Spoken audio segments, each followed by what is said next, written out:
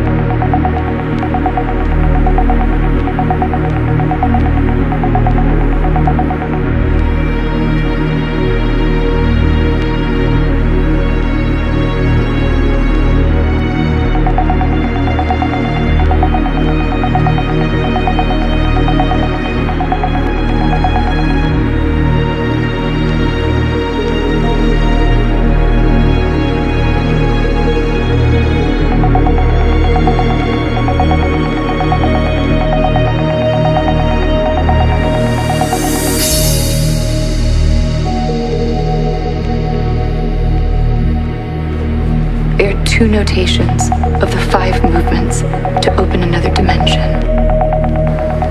I know because I am the original angel.